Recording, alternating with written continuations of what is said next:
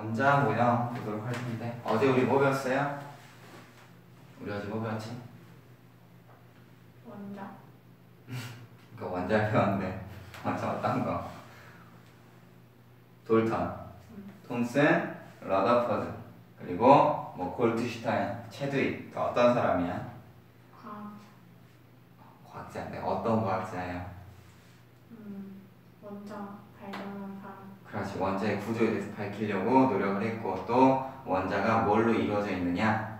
그 원자를 구성하는 입자들을 다 발견한 사람들이죠. 그래서 이제 거기에 이제 여러 이제 모형들이 이제 변천이 되었잖아.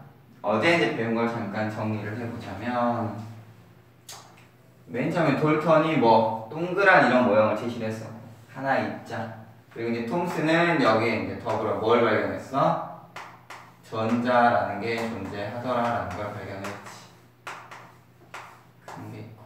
러더퍼드는 중심에 뭐가 있고 원자 핵이 있고 그 주변에 여러 개의 전자가 이렇게 돌고 있다 라고 하는 행성 궤도 모형을 제시를 했어요. 그쵸? 그리고 이 내부 이 원자핵의 내부에 뭐 양극성을 이용해서 양극성이 존재한다. 골트슈타인 주장을 했고 그리고 체드윅은 중성자를 발견했고 이러한 것들을 하게 됨으로써 드디어 원자는 뭘로 이루어져 있다? 원자는 뭘로 이루어져 있다? 원자 핵과 전자로 이루어져 있더라. 그리고 원자 핵은 또 뭘로 이루어져 있어? 양성자와 중성자로 이루어져 있더라 라는 걸 우리가 어제 배웠어요. 자 그런데 이 원자라고 하는 게 원래도 존재를 했어 아니면 만들어진 거야? 원자라는 게 원래부터 우주가 탄생할 때부터 있었습니까? 아니. 만들어진 거죠. 어떻게 만들어졌어? 빅뱅을 통해서 뭐와 뭐 가벼운 물질인 경입자, 무거운 물질인 쿼크가 날아가면서 쿼크끼리 뭉쳐서 양성자와 중성자를 만들었고 이 양성자, 중성자는 서로 충돌하면서 원자 핵을 만들었다. 그리고 나중에 전자가 들어가면서 드디어 원자가 생성됐죠. 그래서 우주에 그때 당시 존재했던 원자는 뭐와 뭐 수소와 헬륨뿐이었다. 그럼 그 이후에 있는 원소들은 어떻게 만들어졌어요? 뭐가 생겨나면서 뭐가 생겨나면서 만들어졌어 나머지 원소들은 별이 생겨나면서 별을 통해 만들어졌죠 태양과 질량이 비슷한 별은 중심에 있는 탄소 핵가지를 만들었고 뭘 이용해서 핵융합 반응을 이용해서 핵융합 반응에 의해서 원소가 만들어졌고 그리고 태양보다 질량이 훨씬 큰 별들은 내부에서 철 원자까지 만들어진 다음에 초신성의 폭발로 자연계에서 가장 무거운 원소인 우라늄까지 생성이 되었다. 그럼으로써 이 우주에 다양한 원소들이 가득 차게 되었다. 그리고 이 원소들은 서로 결합해서 다양한 화합물을 형성을 했다라는 거죠. 우리가 그런 걸 배웠었잖아. 그럼 이제 오늘은 뭘 배울 거냐? 우리가 알고 있는 원자 모형이랑 좀 차이가 있어. 그럼 이 이후에 이제 누가 주장을 했, 연구를 해서 새로운 결과를 밝혀냈느냐라는 거지. 그래서 오늘 볼 건 뭐냐? 크게는 두 가지를 볼 거예요. 두 가지의 원자 모형을 살펴볼 텐데 그 두 가지 원자 모형이 어떻게 그럼 구성이 되느냐 이걸 볼게요. 첫 번째로는 뭘 볼 거냐면 조금 더 쓸까요? 첫 번째로 볼 건 자, 보어의 보어의 원자 모형입니다.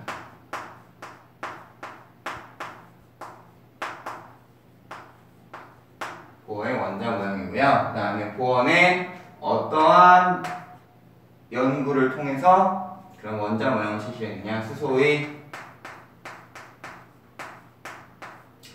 선 스펙트럼을 가지고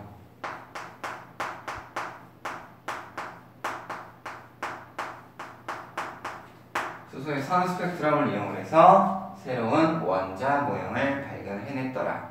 자, 보어는 자 저온의 기체, 그러니까 어, 고온의 기체, 고온의 기체를 수소 방전시켜가지고 빛을 통과를 시켰어. 통과를 시키는 이러한 실험을 했어요. 그 이전에 여러 이제 원자 모형들을 연구를 했었고 보어도 이제 그 실험 결과에 따라서 새로운 실험을 제시를 했던 거지. 자, 수소 방정관이 있고 여기 이제 수소 기체를 가득 채운 다음에 여기다 이제 고온의 기체 빛을 통과를 시켰더니 여기서 이제 뿜어져 나온 빛이 있었어. 뿜어져 나온 빛이 이제 뭘 하나의 스펙트럼을 만들게 되는데 어떠한 선들이 찍히더라라는 거지. 어떠한 선들이 찍히더라라는 걸 발견을 하게 돼요. 이걸 이제 뭐라고 해? 수소의 선 스펙트럼 실험이에요. 수소의 선 스펙트럼을 관찰을 했더니 이제 당시에 당시에 이제 보어는 이제 뭐 자외선 영역, 가시광선 영역, 그리고 적외선 영역 1위까지 다양한 빛의 파장 속에서 이 스펙트럼이 어떻게 찍히느냐 이걸 연구를 했지. 연구를 한 결과 이제 어떤 연구 값을 도출해냈냐면 도출해냈냐면 자 통과를 시켰으면 에너지가 에너지가 연속적으로 나온다면 에너지가 연속적으로 나오면 이게 색깔이 다 칠해지겠지. 연속적인 스펙트럼이 나오겠죠. 이게 에너지가 연속적이라면. 그러니까 마치 비유를 들자면 이런 거야. 음, 우리가 미끄럼 틀이 있는데 한쪽은 이렇게 되고 한쪽은 이렇게 계단이 있다고 칩시다. 이렇게 계단이 있다고 치면 자 에너지를 계속 꾸준히 발사한다면 이렇게 미끄럼 틀처럼 이렇게 에너지를 꾸준하게 발산을 해서 색깔이 이렇게 칠해지겠지. 근데 이쪽 계단을 어때? 통하고 내려오면 이때 에너지가 발산이 되고 통하고 내려오면 이때 에너지가 발산이 되고 내려오면 발산되고 에너지가 발산되고 이렇게 될 거 아니야. 그럼 여기는 연속적으로 에너지가 쭉쭉쭉쭉 나갈 텐데 그러니까 스펙트럼을 찍힐 때 어떻게 나오느냐 여기가 이제 쭉 이렇게 색칠이 돼서 나올 거야. 그러겠지. 근데 이쪽은 어떻게 나와? 이 스펙트럼 자체에 나올 때 그러니까 중간중간 이어지는 선들이 이렇게 나오더라는 거지. 이해돼요? 무슨 말인지? 그러니까 보원에 이 선스펙트럼 실험을 해서 이 연속적인 스펙트럼이 나오는 게 아니라 아, 이러한 선으로 찍혀 나오더라. 그래서 뭘 발견했냐? 불연속적인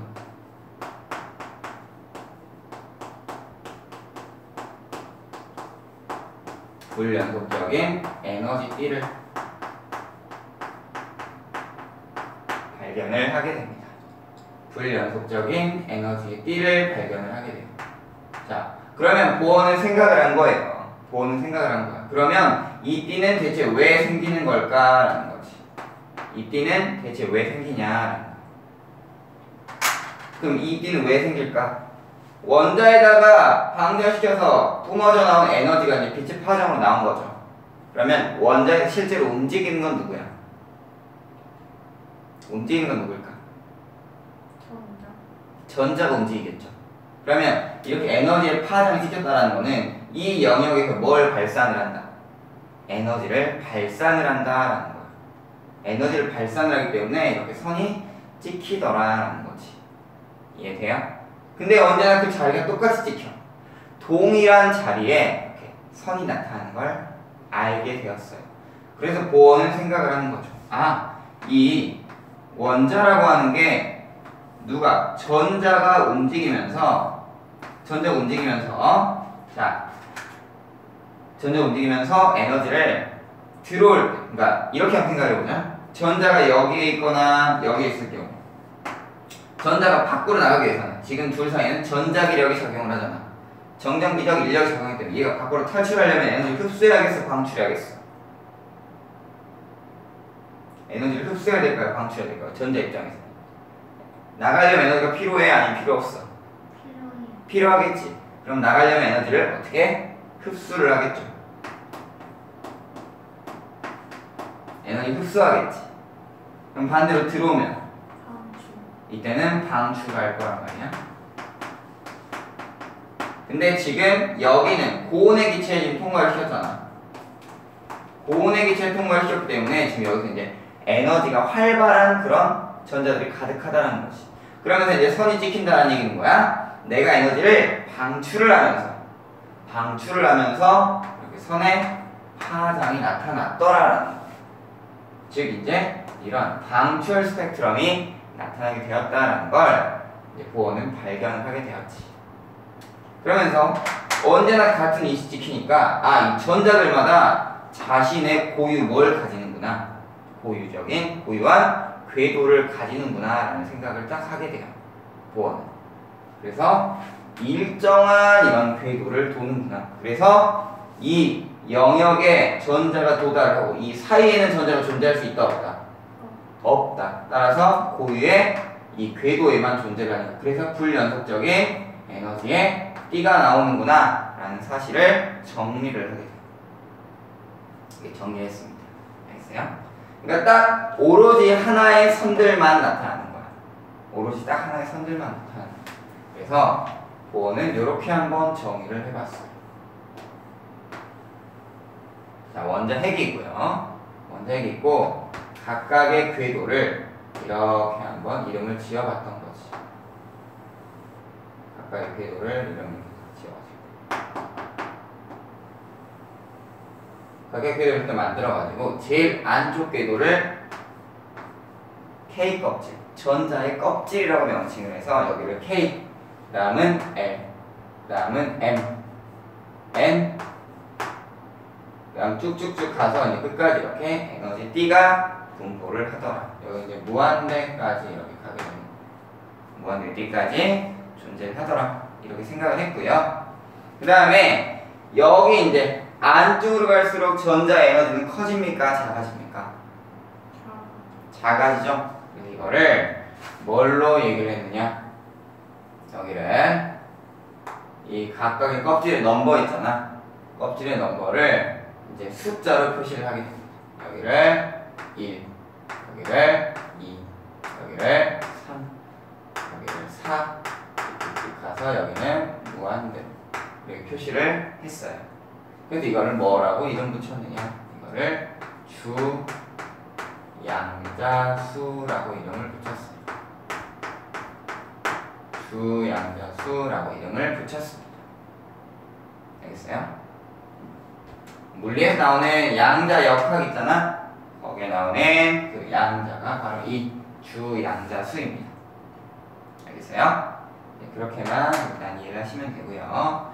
그 다음에 이렇게 주양자수, 그러니까 넘버를 붙인다. 그럼 왜 이렇게 넘버를 붙였느냐? 왜냐면 각각의 영역에 존재하는 전자들의 뭐를 에너지 준이라는 값을 위해서 에너지 준이라는 건 에너지 크기를 얘기합니다.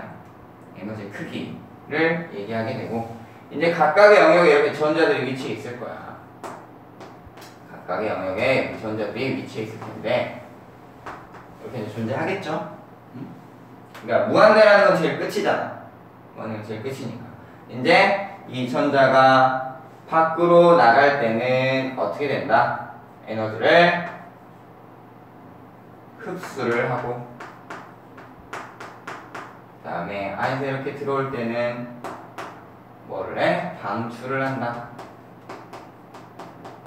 이렇게 정리를 한 이후에 각각의 영역에 도달하는 빛의 파장을 분석을 해봤어. 각각의 영역에 도달하는 빛의 파장을 분석을 하게 됩니다.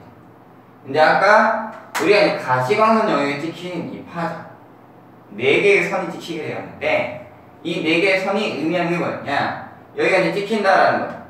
자 여기는 무슨 영역? 눈에 보이는 빛의 파장. 우리는 거기를 뭐라 그래? 눈에 보이는 빛의 영역을 눈으로 볼 수 있는 빛. 뭐라 그래요? 눈으로 볼 수 있는 빛을 뭐라 그래요? 적에서는 눈에 보여 안 보여요? 알아요? 적에서는 눈에 보일까 안 보일까? 안 보이겠죠. 자에서는 보여 안 보여? 안 보여요. 자에서는 보이지 않아. 우리가 눈으로 볼 수 있는 빛의 파장이 딱 하나밖에 없어. 그 빛의 영역을 뭐라고 하냐면 그걸 가시광선이라 그래. 가시광선이라 그래. 자, 빛의 파장을 보자면 맨 안쪽에 제일 파장이 짧은 진동수 제일 많은 감마 X선 그 다음에 자외선 가시광선 적외선 그리고 마이크로파와 전파가 있잖아. 이렇게 되죠. 빛의 순서잖아. 빛의 영역 순서인데 우리가 눈으로 볼 수 있는 건 가시광선 영역만 보이죠. 그래서 봤더니 이제 각각 이제 빛의 영역이 나타나게 되었는데 이제 각각의 영역을 뭐라고 부르겠느냐 자, 이 제일 안쪽 이 안쪽으로 들어오는 빛의 영역을 뭐라고 부르기로 했냐면 여기는 라이먼 계열이라고 부르겠어요.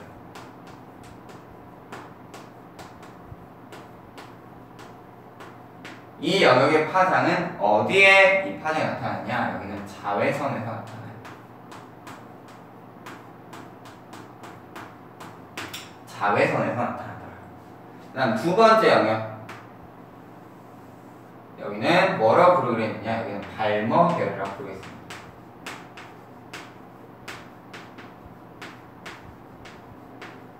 여기는 무슨 영역? 가시광선의 영역이었어요. 가시광선의 영역이었다. 그 다음에 이 세 번째 영역. M 껍질에 위치하는 양자수가 3인 M 껍질에 위치하는 건 뭐라고 부르느냐? 여기는 파신 계열.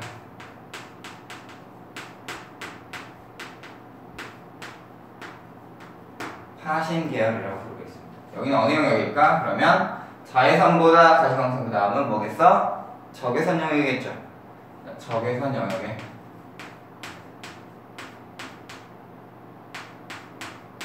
찍히는 파장이 나타나더라라는 거지. 그 중에서도 이 발머 계열, 그 중에서도 이 발머 계열의 영역을 살펴보자면 발머 계열은 이제 이게 선이 어떻게 찍히느냐?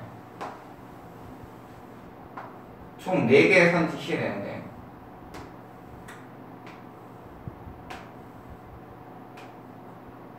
여기를 적색 여기를 청색이라고 두자면 자 파장은 어디가 더 길어? 적색이랑 청색 중에. 적색이 더 길죠. 그럼 이쪽으로 갈수록 파장이 길어질 테고 그다음 에너지는 누가 더 커요? 청색이 더 크죠. 진동수가 이쪽이 더 많잖아.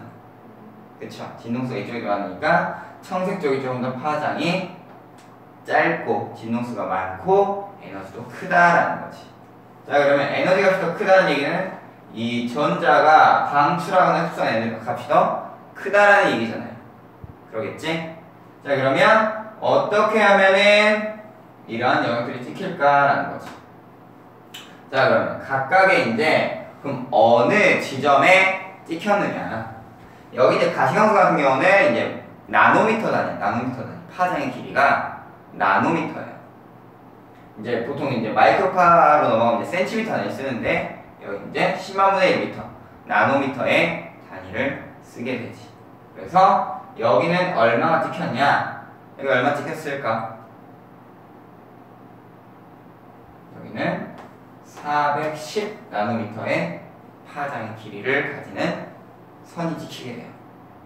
그 다음 두 번째 여기는 434 나노미터.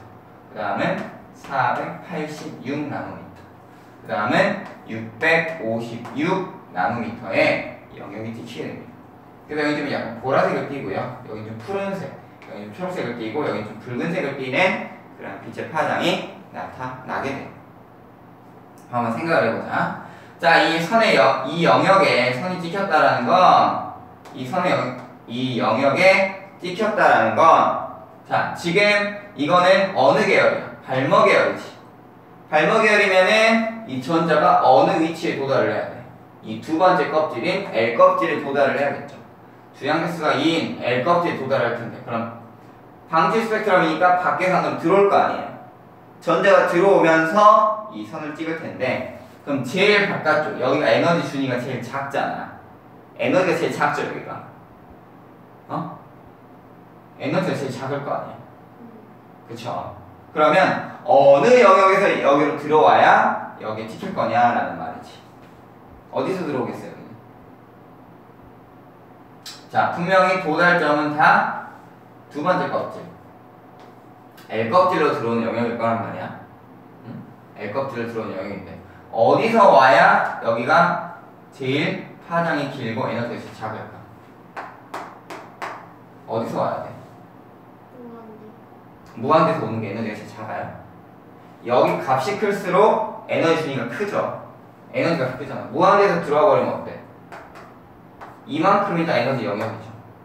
많은 에너지 방출할 거 아니야. 들어오니까. 그럼 제일 가까운 데서 들어와야겠지. 제일 가까운 데가 어디야? M 껍질이잖아.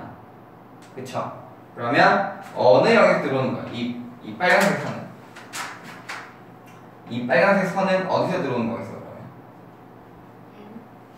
그렇지. m 껍질에서 이렇게 들어오는 파장이겠지.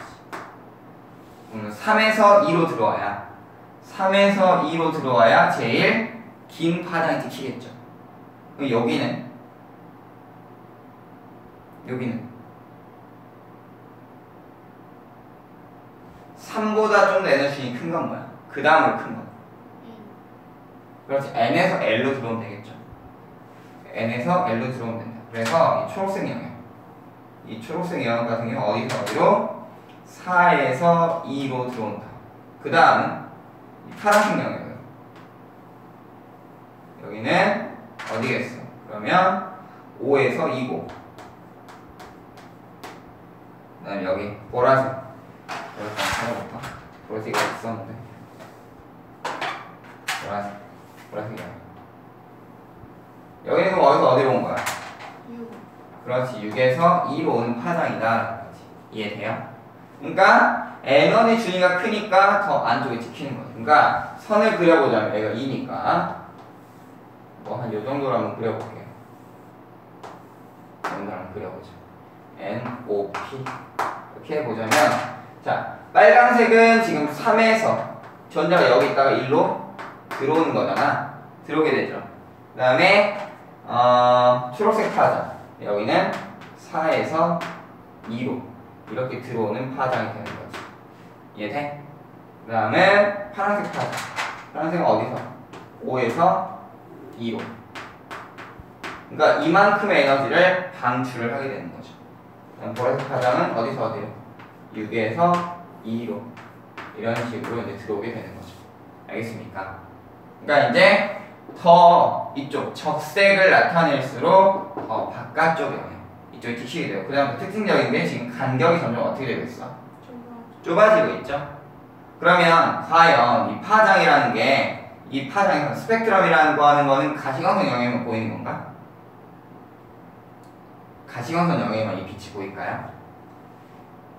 네. 아, 그러니까- 아 그래요. 눈으로 보기엔 여기만 보이겠지. 그럼 다른 데는 파장이 찍힐까 안 찍힐까? 다른 데도 찍히겠죠? 그게 찍히는 게 이제 어디에 있어? 67페이지 아래쪽에 보면 라이먼 계열, 발머 계열, 그리고 파신 계열 해가지고 나와 있는 게 있어요. 보입니까? 응? 보여요? 네. 그러니까 이 각각 영역으로 이제 들어오는 파장들이 이렇게 찍히게 되지. 그 중에 이제 여기 발머 계열에 찍히는 파장은 가시광선 영역이기 때문에 각각 들어오는 파장들을 요- 이렇게 눈으로 우리가 볼 수가 있는 거지. 이 앞쪽에는 뭐가 찍히겠고 여기는 라이먼 계열의 파장이 찍힐 테고 이 뒤는 에너지 중위가 작으니까 어디서 파신 계열이 찍히겠죠.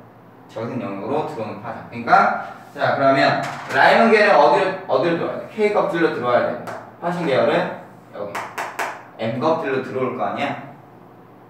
이해돼? 아니. 이해 안 돼요? 자 라이먼 계열을 찍히기 위해서는 전자들이 어디서 어디로? 이 안에서 이렇게 들어와야 될 거 아니야? 이렇게 들어와야겠지. 어? 알겠어? 여기 찍히려면 이렇게 들어와야 여기서 들어오고 여기서 들어오고 여기서 들어오고 해야 여기 찍히겠죠. 저기선 여기. 그러니까 전자가 도달하는 값이 어느 선에 있냐에 따라서 어느 위치에 파장이 찍히느냐가 달라지지. 안쪽으로 갈수록 에너지 준위는 어떻다? 자. 안쪽으로 들어가서 에너지 준위는 어떻게 돼요? 아니 이 파장 영역에서. 크지. 라이먼 계열에 가까워서 그럼 제일 큰 에너지를 가진 건 어디서 어디로 오는 거겠어? 제일 큰 에너지를 가지는 거. 어디에서 어디로 도달하는 걸까? 멀리서. 음, 가장 멀리 있는 게 어디야? 무한대부터 여기까지 들어오는 거겠죠. 그럼 수소의 입장에서 수소는 전자를 어디에 가져? 바닥 상태. 바닥 상태라는 거는 전자의 에너지 준위가 최소인 거야. 그럼 제일 안쪽 궤도에 있겠지. 그러니까 어디에 있어 전자가? 여기에 위치해 있겠죠 전자가. 전자가 여기다 제일 멀리 가면 어디까지 갈 수 있어? 무한. 무한대까지 갈 수 있겠죠. 그치? 이때가 에너지 준위가 제일 크잖아요. 반대로 이렇게 들어올 때 에너지 준위가 제일 크지. 두 값이 같으니까 반응만 다르고, 어? 방출과 흡수 방향만 다르고 에너지 준위 똑같다라고 할 때, 그럼 무한대까지 오는 걸 우리는 뭐라고 하느냐? 이걸 뭐라 그래? 이온파라고 합니다. 이온화. 그러니까 수소 같은 경우에 수소에서 수소 이온이 되는 거. 전자를 하나 버리잖아요, 이렇게. 이게 뭐야? 제일 안쪽 궤도에서 제일 바깥쪽 무한대까지 보내버리는 게 이온화가 되는 거지. 알겠어요? 그러니까 이온화 될 때 가장 큰 에너지가 소모가 되는 거지. 알겠습니까? 이렇게 생각을 하시면 돼요. 그러니까 양이온을 버리는 거 대신 음이온을 이제 가지고 오겠지. 가지고 오니까 그만큼 전자가 많이 방출해서 안쪽으로 들어오겠죠. 알겠습니까? 그리고 이제 이 전자라는 것도 우리가 생각을 해보면 배치될 때 어떤 순서대로 배치돼요? 전자라고 하는 거는 일단 원자 속에 포함이 되기 위해서는 전자가 제일 안쪽 차곡차곡 채워져야겠지. 그래서 전자는 에너지 준위가 작은 단계부터 이렇게 차곡차곡 쌓아져 간다라고 해요. 작은 단계부터 이렇게 채워져 갑니다. 우린 그리고 그걸 가장 이제 에너지 준위가 최소인 전자들 이걸 우리 뭐라고 하냐면 바닥 상태라고 거예요. 바닥 상태. 알겠어요? 이해됩니까?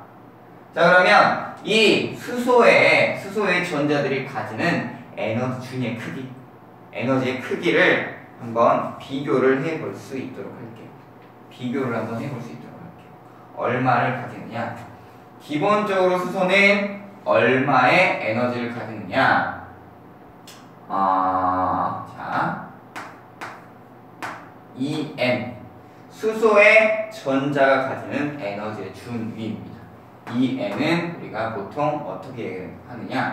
마이너스 n 제곱 n 제곱 1312 킬로줄 퍼 몰이다 라고 이야기를 해요. 우리가 보통 이렇게 이야기를 하고 있어. 수소의 전자가 가지는 에너지 준위를 우리는 보통 요 식을 이용해서 구합니다. 수소는 이렇게 되고 다른 전자들도 마찬가지예요. 다른 원자의 전자들도 마찬가지. 그래서 이제 보통 131 쓰거나 여기다가 이제 K 값을 넣어주기도 하죠. 그럼 이제 어떻게 그러면 에너지 준위를 볼 거냐? 전자 에너지 준위를 예를 들면 이런 거야. n이 예를 들어서 n이 예를 들어서 n은 어디로 갔느냐? 예를 들어 1에서 무한대로 갔다 라고 한번 얘기를 해보자 1에서 무한대로 갔다 라고 얘기를 해보자면 자 이거는 이제 어떻게 구해? 에너지 준위 어떻게 구할까? 에너지 준위 어떻게 구할까요? 1에서 무한대로 갔다 그러면 이거는 어떻게 구하느냐? 에너지의 에너지 에너지 값은 어떻게 구하냐? 총 에너지의 양 이건 어떻게? 이 원에서 이 원에서 뭘 빼줘?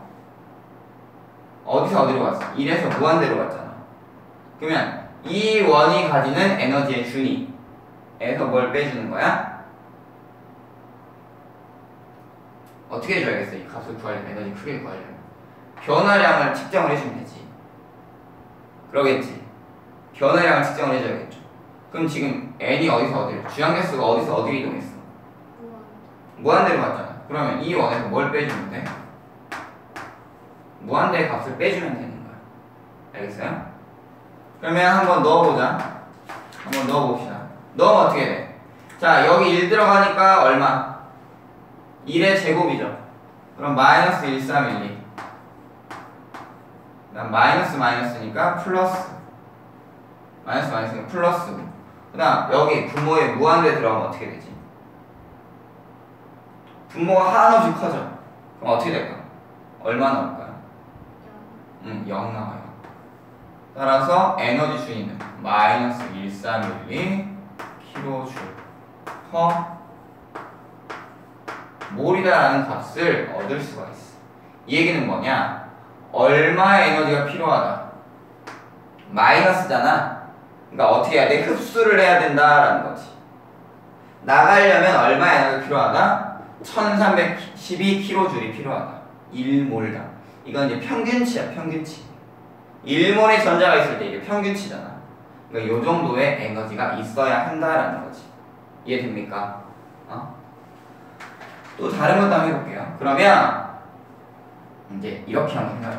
이제 그림으로 한번 표현을 해볼게. 아 이거를 수소에 완전 핵이 있고 그림으로 한번 표현을 해볼게.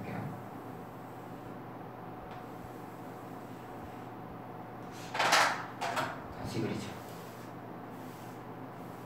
다시 한번 그려볼게요. 하나, 둘, 셋, 넷, 다섯.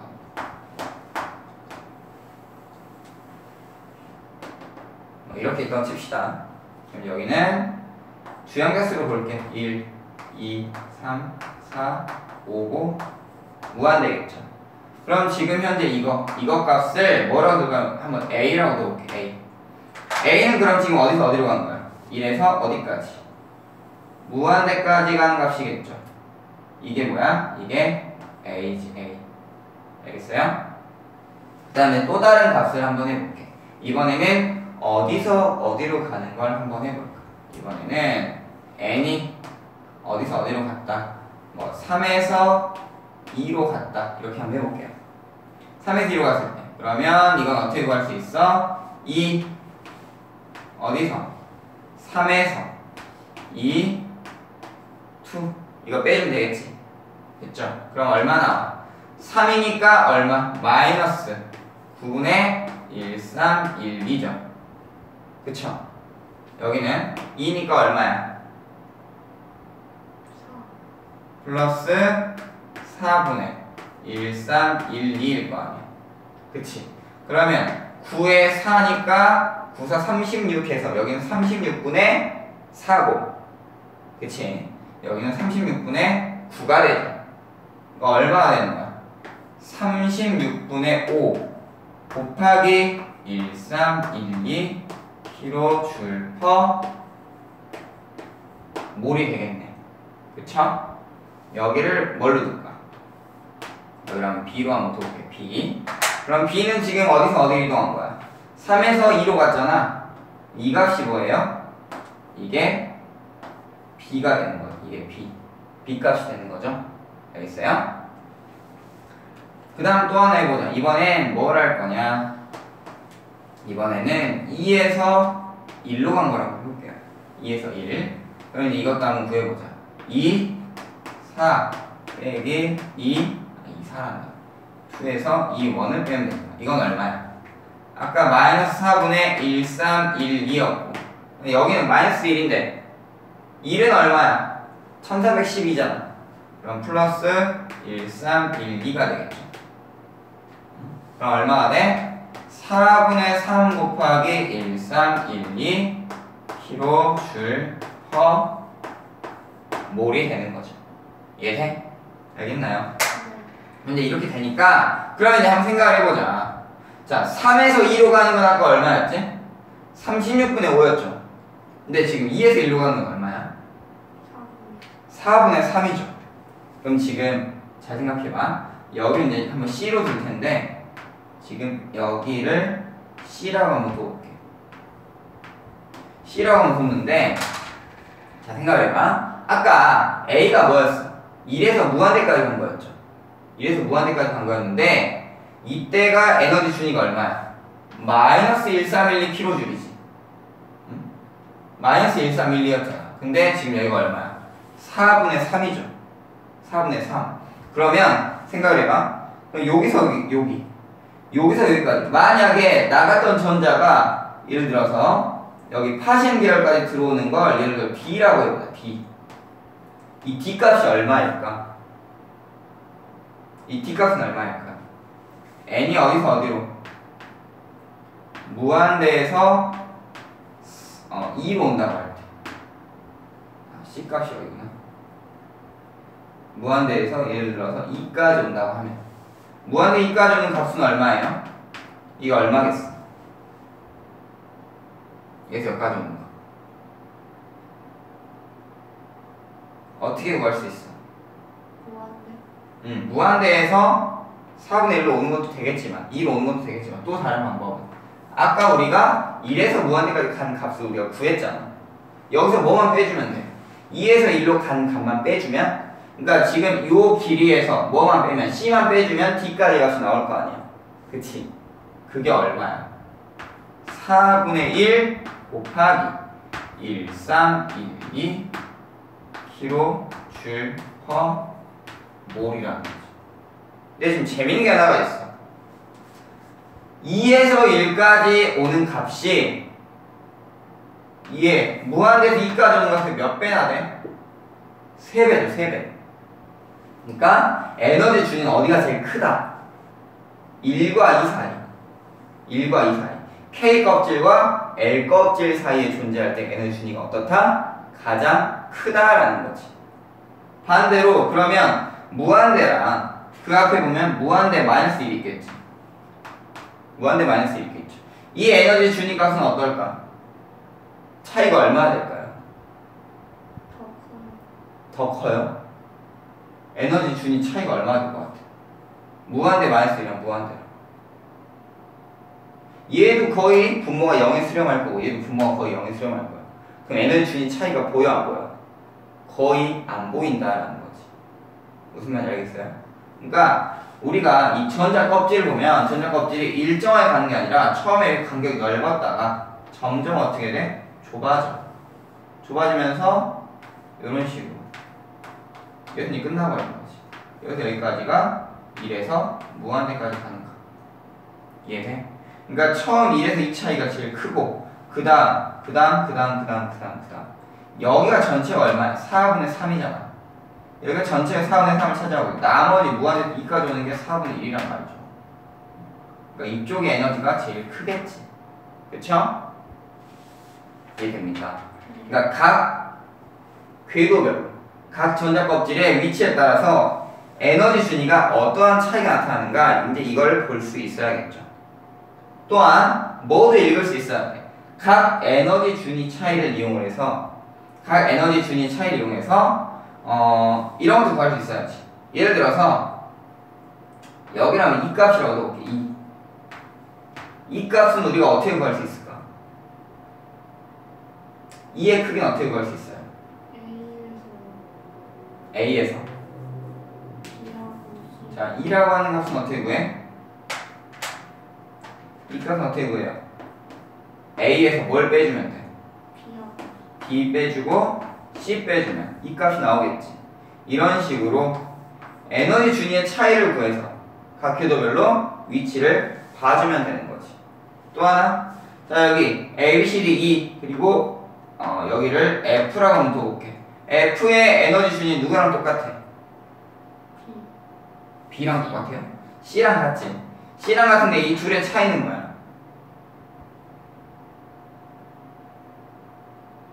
C랑 F의 차이는 뭘까? 음, 흡수와 방출. 즉, 에너지의 방향이 다른 거죠. 얘는 뭘 하고 방출을 하고 얘는 흡수를 하더라. 이런 차이까지 볼 수 있어야 되는 거예요. 알겠어요?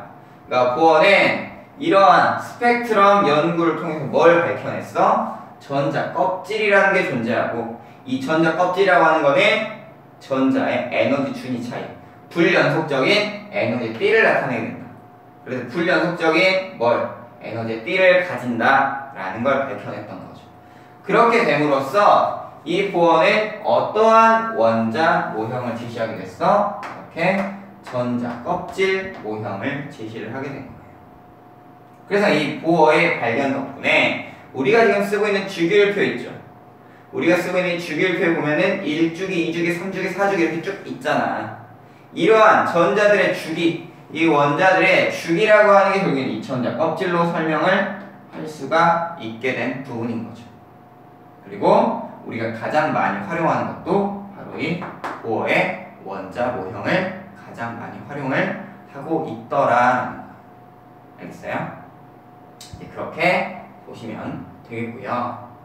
근데 우리가 이 원자의 모형을 보기는 봤지만 보어의 이 모형이 한참 이제 인정이 되다가 스펙트럼도 실험을 해보니까 수소 같은 경우는 딱 들어맞더라는 거지. 오, 그래서 보어의 말이 맞네? 라고 생각하는 찰나에, 생각하는 찰나에 이제 문제가 하나 생겼어. 과학자들이 연구를 해보니까 다른 애들을 또 이렇게 똑같이 스펙트럼을 해봤겠지.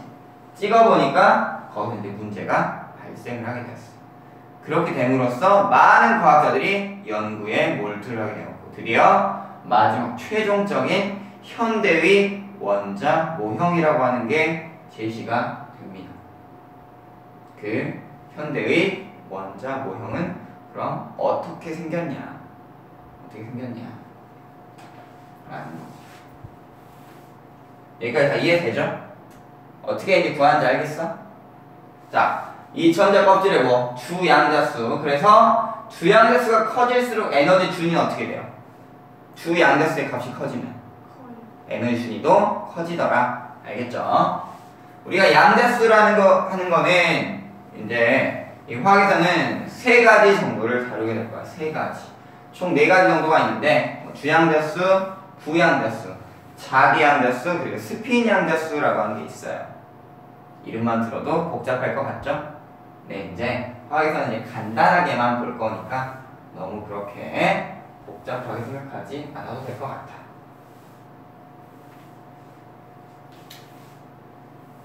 자, 지우고. 자, 이제 마지막으로 이제 볼 거는 뭐냐? 그러면 현대의 원자? 현대의 원자. 두 번째.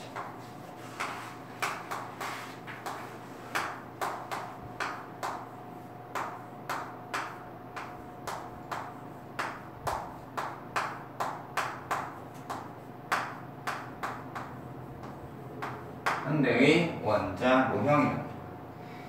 이 현대의 원자 모형은 뭐냐? 자, 그 보호가 지시했던 건 전자 껍질 궤도라는 거였는데 이걸 뭘 가지고 설명했어? 선 스펙트럼의 불연속적 에너지 띠로 설명을 했잖아요. 근데 이제 중요한 건 전자를 많이 가지고 있는 원자들에게서 이제 발생을 하지 않아. 아무거나 그려봤어. 얘 뭐 같아? 얘 뭘까요?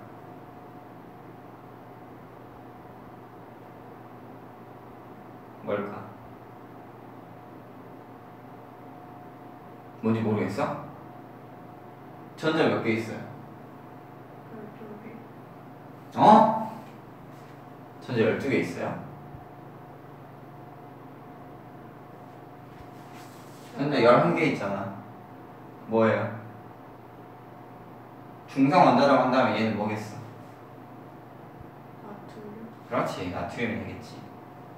보면 알 수 있어야 돼. 알았지? 음. 예를 들면 나트륨이 뭐 하나 있다고 할 때. 누가 이제 심심하게 나트륨을 막 쬐더니 수소처럼 선 스펙트럼이 나타났다 이거야. 근데 문제는 뭐였느냐? 선 스펙트럼은 나타났는데 이게 확대를 해보니까 처음에 이게 한 선인 줄 알았거든. 선이 하나를 생각하고 확대를 해봤더니 이 스펙- 선이 어때? 여러 개가 겹쳐 있더라는 거지. 확대해 보니까 여러 개가 겹쳐 있었다는 거지. 이게 왜 겹치지라는 거야. 그러니까 문제가 뭐였냐면은 여기는 전자가 많잖아. 전자가 많죠. 이 전자들이 서로 돌면서 서로에게 영향을 미치는 거야. 전자가 서로의 궤도를 간섭하고 에너지의 준위를 간섭을 하게 된다는 거죠. 간섭을 하면서 요게 이제 정확하게 그 띠가 제 자리에 찍히지 않는 걸 발견을 해요. 그러니까 하나의 선인 줄 알았는데 서로 간섭함으로써 여러 개의 선이 겹치는 현상이 발견이 되었고 또 하나의 문제는 뭐냐 이 전자라고 하는 게 꼭 이 궤도만 도는 건 아니었더라는 거지 각자 영역은 존재했지만 전자가 얼마나 속도가 빠른데 이걸 그냥 콕콕 찍는다고 이게 잘 보이겠어?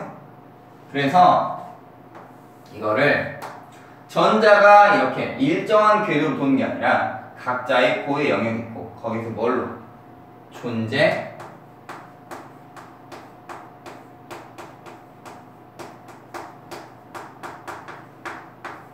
존재 확률이라는 게 있더라라는 거지. 그러니까 원자에 대해서 일정한 범위가 있으면 그 범위에서는 계속 보이긴 하는데 그게 불특정의 존재 확률을 가진다라는 거야. 그래서 이 존재 확률로서 원자의 모형을 정리한 게 그, 그게 뭐냐면 현대의 원자 모형.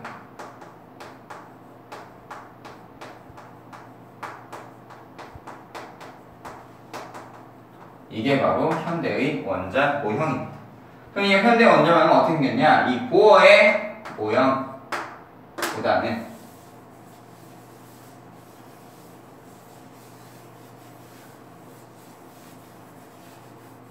뭐 이렇게 볼 수가 있지. 뭐 같아? 도너츠 같아요. 가운데 원자핵이 있고 이 뿌옇게 된 게 뭐야? 마치 안개 같기도 하고 구름 같기도 하잖아. 그래서 이거를 뭐라고 하냐면 자, 구름 모양이라고 해요. 구름 모양. 왜 그럼 이렇게 뿌옇게 표시를 했을까? 왜 이렇게 뿌옇게 표시를 했을까요? 이유가 뭘까? 이렇게 뿌옇게 표시한 이유가. 전자가 많아서. 음, 물론 전자가 많은데 어느 특정 위치에 전자를 놓은 게 아니라 그냥 뭘로 존재 확률로만 나타낸 거야. 그러니까 이제 이 구름 모양 연구하기에서 꽤 많은 과학자들이 이제 투입이 됐어요. 아인슈타인도 여기 포함이 돼 있고. 그래서 현대 원자 모형 그 전에는 누구의 원자 모형, 누구의 원자 모형, 누구의 원자 뭐 톰슨의 원자 모형, 러더퍼드의 원자 모형, 뭐 보어의 원자 모형, 돌턴의 원자 모형 이렇게 얘기를 했는데 여기는 하도 많은 사람들이 투입이 되다 보니까 그냥 현대의 원자 모형, 구름 모형이라고만 이야기를 하지. 근데 뭘로만? 존재 확률로만 나타내더라라는 거. 그래서 지금 현재 여기까지 왔어. 근데 우린 이 모형 자주 써 안 써? 자주 안 써. 왜 안 쓸까? 일단 전자가 안 보여. 전자 안 보이고요. 그리고 그리도 복잡해. 이렇게 막 색칠해야 되니까 귀찮잖아. 그래서 가장 많이 쓰는 것보다 아직도 보어의 원자모형 제일 일반적으로 쓰고 있습니다. 왜 이걸 쓸까? 이유는 두 가지. 첫 번째는 보기 편해. 보기 편해. 보기 편하고요. 그리고 전자의 위치를 정확히 알기 쉽죠. 두 번째, 그리기 편해. 내가 뭔가 표현하고 싶은 게 있으면 이렇게 표현해 두면 바로 알 수 있잖아요. 그래서 이 보어의 원자 모형 지금 많이 쓰고 있다. 하지만 이 모형이 맞는 건 아니더라. 딱 궤도가 이렇게 일정하게 도는 게 아니라 뭘 가졌냐? 전자마다 일정한 자신만의 고유 영역을 가지고 있어. 자신의 방을 가집니다. 그 방을 뭐라고 하냐면 이제 오비탈이라고 불러요. 오비탈. 그 오비탈에 대해서 그러면 이제 뭘 봐야 되느냐? 오비탈에 대해서 봐야죠. 오비탈. 그 오비탈에 대한 거는 좀 이야, 이야기가 길어질 거예요. 길어지기 때문에 잠깐 쉬었다가 보도록 하겠습니다.